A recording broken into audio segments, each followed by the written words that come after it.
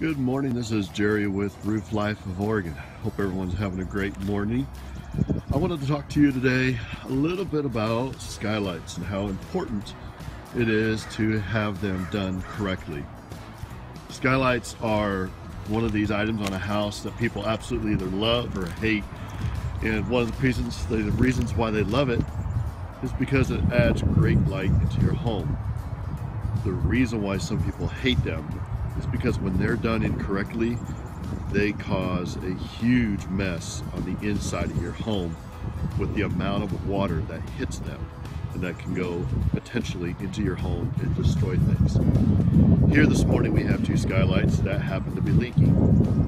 So I'm going to go through a few things here to show you what is going on.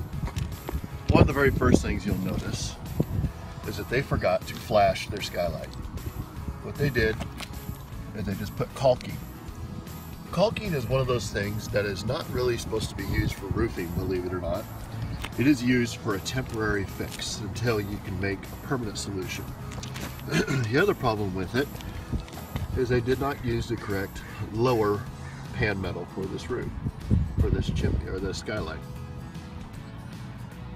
Flashing a skylight is crucial. If you don't do it correctly, you're just asking for water to come into your home.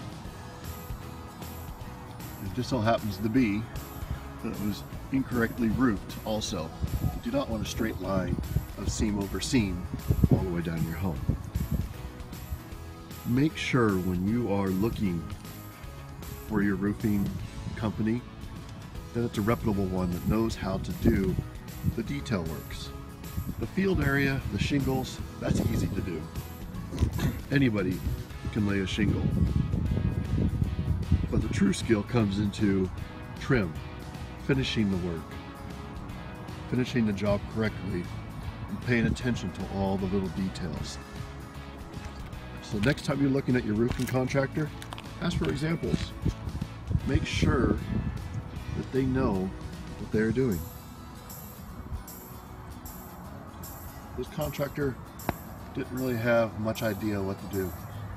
Use a lot of caulking around this roof. Caulking is not for roofs, guys. It is there for a temporary fix. It is only there until you can get a professional contractor up here to do the correct thing. Here's one more problem. They incorrectly roofed the top of this house. I hope this helped you guys out a little bit this morning. That way you have something to look for when you're looking at your roof and you're looking for a new contractor. That this will give you some insight on what to look for. Thank you everybody. This is Jerry with Roof Life of Oregon. Have a great morning.